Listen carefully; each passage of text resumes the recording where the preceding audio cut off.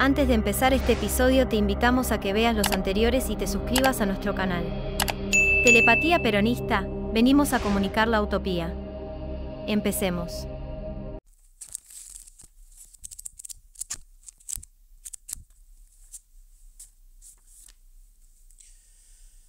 XV.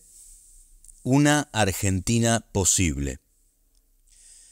En su casa de Gaspar Campos 1065, el general estaba exultante, perfecto. Subía la escalera de la sala a los dormitorios todo el tiempo, subía y bajaba a la buhardilla para saludar a la gente. Estaba muy bien, había regresado al país, había triunfado. A últimas horas de esa larga jornada del 18, Perón convocó a los integrantes de la Hora del Pueblo para el día siguiente a las 19 y a Balbín a las 18 para mantener una conversación a solas. Los históricos enemigos políticos se dieron por primera vez la mano. Balbín arribó a Gaspar Campos por la parte de atrás y saltando un cerco, pero pasadas las 19, por lo cual debió acoplarse a, las demás, a los demás políticos que ya habían llegado y que se encontraban hablando con el dueño de casa. El 20 se efectuó la reunión multipartidaria en el restaurante Nino de Vicente López y Balbín le encargó a Enrique Banoli, que había cultivado una relación amistosa con el coronel Jorge Osinde, que procurara una reunión a solas con el general. El 21, sorpresivamente a las 9 de la noche y burlando las guardias periodísticas, Balbín concurrió a Gaspar Campos y mantuvo, ahora sí, una larga y trascendental reunión a solas con Perón. Al salir Balbín, el general lo acompañó y en el porche se produjo la famosa foto del abrazo. Luego, Balbín ofreció una conferencia de prensa y aseguró, entre otros conceptos, Perón ha regresado con el propósito de pacificación y en pro de la institucionalización de la República. Fue una conversación de dos argentinos que olvidan su pasado y que hablaron de las perspectivas del futuro nacional. Con Perón estamos buscando puntos de coincidencia en beneficio del país. El general me confió que ya estaba amortizado como ser humano y que quería dedicar sus últimos años a trabajar por el reencuentro de los argentinos. El abrazo del general Perón con Ricardo Balbín ha quedado en la historia argentina como uno de sus momentos más propicios para una normalización del sistema político y visto desde hoy hasta para la viabilidad misma de la Argentina. Fue la culminación de un proceso de siete años de acercamiento del general hacia quienes habían sido sus más permanentes opositores y de estos hacia él. Al menos en lo que yo conozco, los movimientos que concurrieron se iniciaron durante la última parte del gobierno de Ilía. El golpe de Onganía se sabía inminente y en el gobierno radical pensaron en la posibilidad de que el general diera algún tipo de apoyo que detuviera a los golpistas que ya tenían cercanía con el bandorismo. Facundo Suárez, que entonces era presidente de IPF y hermano de Leopoldo, que era el ministro de Defensa, en mayo de 1966 le pidió a su amigo y compañero de estudios de Derecho en la Universidad de La Plata, Pedro Michelini, la posibilidad de ver a Perón en Madrid con tal propósito.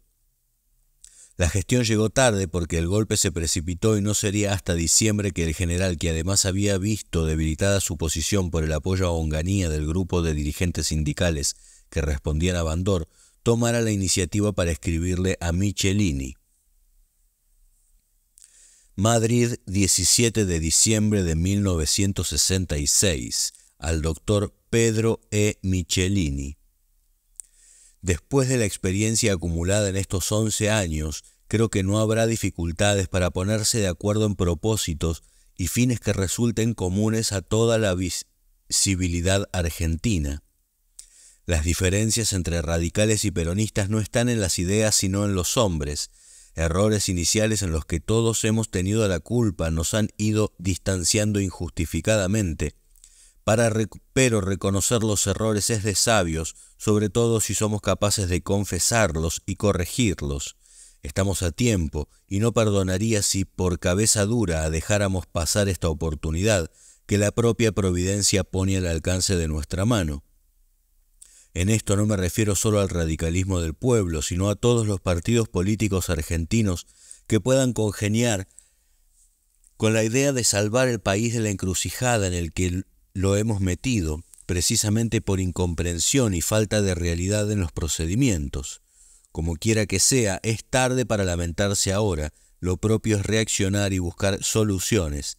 De acuerdo con los términos de su carta, estoy esperando la llegada de Facundo Suárez. Si todavía no ha salido de viaje a Madrid, dele mi número de teléfono, 2361162, para que me llame en cuanto llegue, que yo prepararé una entrevista absolutamente secreta y de la que nadie tendrá ni siquiera noticias, si eso conviene a sus planes, de la misma manera que si resuelve otra cosa.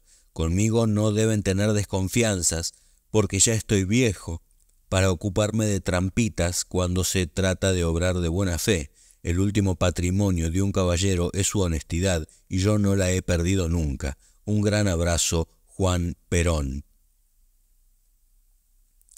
La transcripción de esta carta del general se justifica porque en ella, que es de 1966, ya están contenidos los principios que conservará hasta el final y que llevarán al acercamiento concreto con el radicalismo, considerando esa unión, Perón-Balbín, el eje de la política de unidad nacional. Facundo Suárez conversó con Ricardo Balbín, quien aprobó el contacto reservado, viajó a Madrid y sostuvo varias reuniones con Perón. Supe de estos temas por el trato frecuente que teníamos en azul y blanco con los hermanos Suárez. Ambos, continuando en el radicalismo, tuvieron cercanía con el movimiento de la Revolución Nacional, que precedido por el general Carlos Augusto Caro, el único jefe de cuerpo que había estado en contra del golpe de Onganía, y Marcelo Sánchez Sorondo, que lanzó cuando la llamada Revolución Argentina tomó una política económica neoliberal de la mano de Adalbert Krieger Bacena.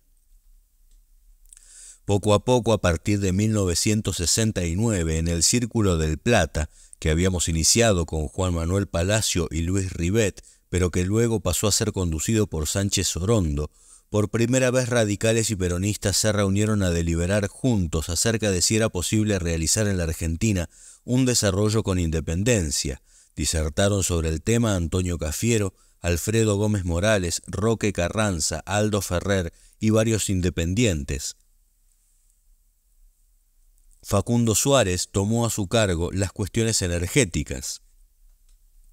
La concurrencia compartió las conclusiones asertivas de los, de los ponentes no solo era posible y compatible el pleno desarrollo económico con la independencia política, sino que además en la independencia política residía la condición básica e indispensable para que la economía de desarrollo pudiese ejercitarse.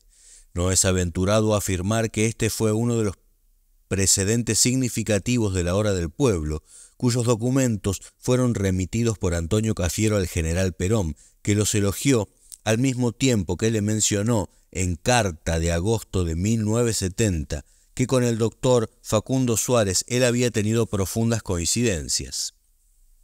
Decía allí el general que sólo sugería agregar la justicia social para crear el concepto de que en la independencia política y la justicia social residían las condiciones básicas e indispensables para que la economía de desarrollo pudiera ejercitarse y este concepto pasó a marcar la unidad de tendencia que amalgamaba la diversidad representativa de la acción común de radicales y peronistas.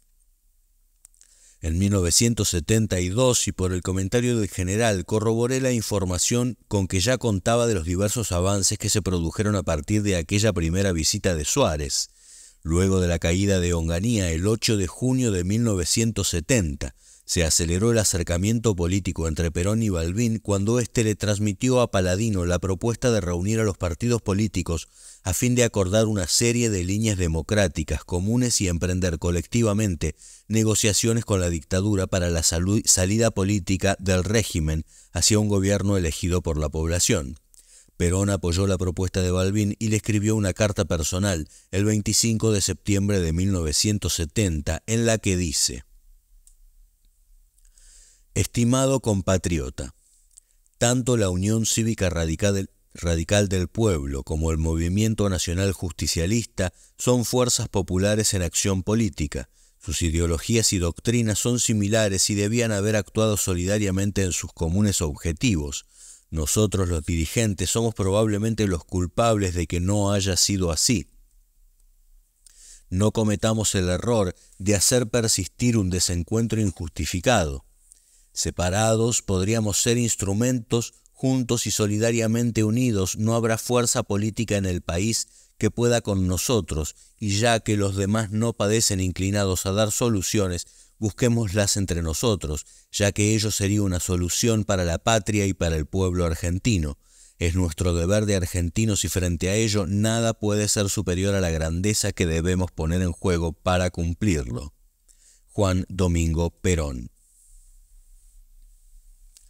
el 11 de noviembre de 1970, representantes de la Unión Cívica Radical del Pueblo y los partidos peronista, socialista argentino, conservador popular y bloquista se agruparon y emitieron un documento denominado La Hora del Pueblo, en el que se exigían elecciones inmediatas, sin exclusiones y respetando a las minorías. Como agrupamiento, La Hora del Pueblo produjo un cambio en la historia argentina, porque fue la primera vez que el radicalismo y el peronismo actuaron políticamente juntos.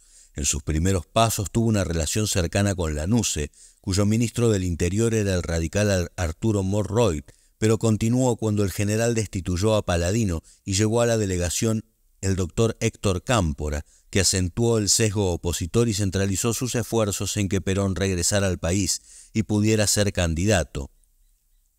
Con la colaboración de su asesor político Esteban Riggi, Cámpora logró mantener en pie los acuerdos con Balbín, a pesar de que los intereses inmediatos fueran muy distintos. De todo ese proceso se llegó al famoso abrazo de Perón con Balbín del 19 de noviembre de 1972, aunque el que aparece de manera habitual registrado es el de la segunda visita de Balbín, las del 21 de noviembre. El 14 de diciembre Perón viajó a Asunción y dijo desde suelo paraguayo, tenemos un acuerdo con la Unión Cívica Radical, con el doctor Balbín de manera expresa. Si nosotros triunfamos, los llevaremos a compartir el gobierno con nosotros. Si ellos ganan, tenemos la promesa de que harán lo mismo. Interrogado por la profundidad de los acuerdos, Perón contestó definitivo, yo con Balbín voy a cualquier parte. Cuando el general fue electo presidente de la República, el primero en felicitarlo fue Balbín. Perón le respondió de inmediato, instándolo a cogobernar.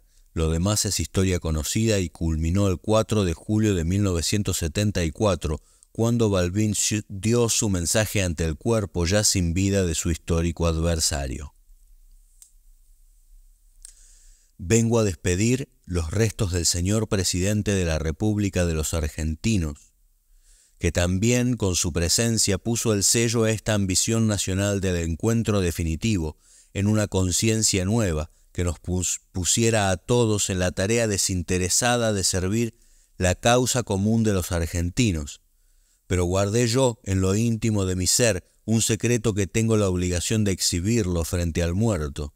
Ese diálogo amable que me honró me permitió saber que él sabía que venía a morir a la Argentina y antes de hacerlo me dijo, quiero dejar por sobre todo el pasado este nuevo símbolo integral de decir definitivamente, para los tiempos que vienen, que quedaron atrás las divergencias para comprender el mensaje nuevo de la paz de los argentinos, del encuentro en las realizaciones, de la convivencia en la discrepancia útil, pero todos enarbolando con fuerza y con vigor el sentido profundo de una Argentina postergada, este viejo adversario despide a un amigo.